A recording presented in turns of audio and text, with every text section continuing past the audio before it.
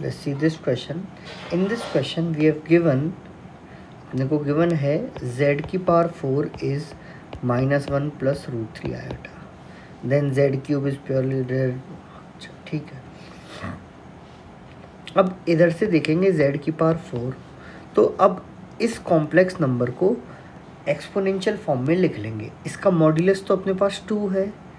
और complex number ऐसे है minus one by two plus iota root three by two.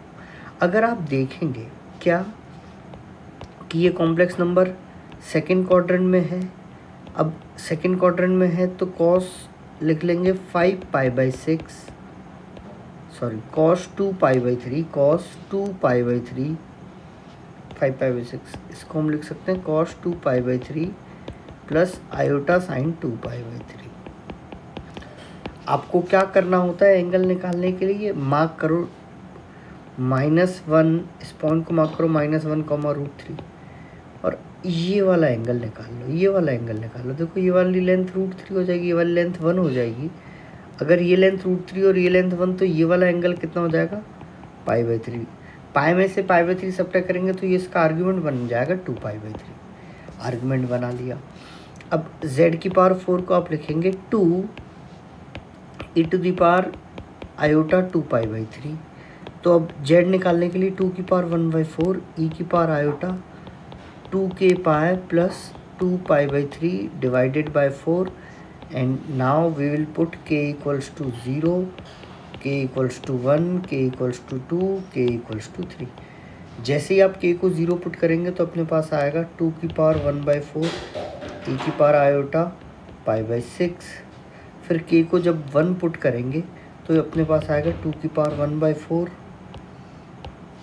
two की power one by four e की power आएगा k को वन पुट किया यानी pi by two plus pi by six pi by two plus pi by six मतलब two pi by three फिर लिखेंगे two की power one by four e की पावर आयोटा तो इसमें पाई बाई टू और ऐड कर देंगे पाई बाई टू ऐड करेंगे तो मतलब पाई बाई टू इसमें ऐड करेंगे टू पाई बाई थ्री में पाई बाई टू ऐड करने पर अपने पास बन जाएगा कितना?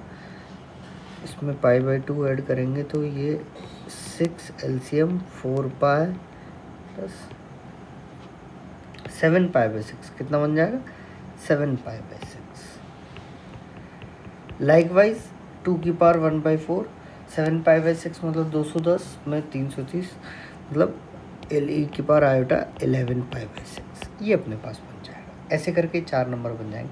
अगर इन चार नंबर्स को अपन प्लॉट करें, जैसे अपने पास एक रूट आया, टू की power one by four, e की power iota pi by six, two की power one by four, e की power iota two pi by three, two की power one by four, e की power iota seven pi by six, and two की power, two की power one by four, e की power iota eleven pi by six. ये अपने पास number बने, इनको अगर मैं कॉम्प्लेक्स प्लेन पर ड्रॉ करूँ।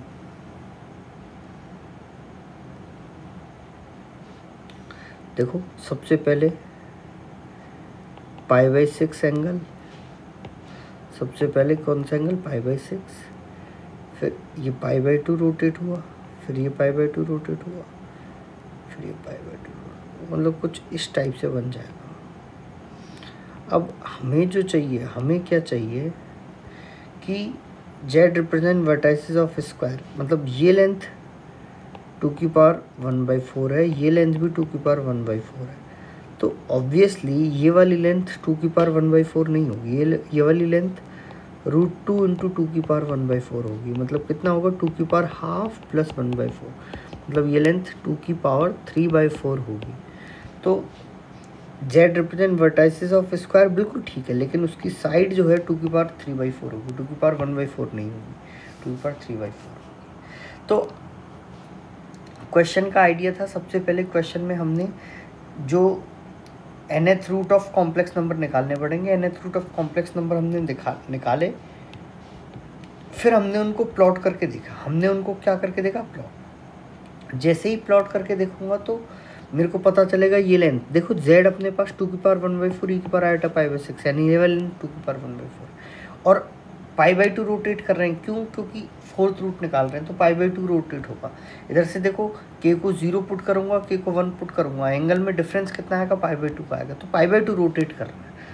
और वही मॉड्यूलस बन रहा है टू की पावर वन बाई फोर तो a a angle pi by two तो हाइपोटेनिस कितना होगा? रूट टू है। तो ये लेंथ रूट टू तो ये टू की power one by two plus two की power one by four, two की पावर थ्री बाई फोर हो गया। टू की पावर थ्री बाई फोर अपने पास इस स्क्वायर का साइड हो गया। Option D will be the right answer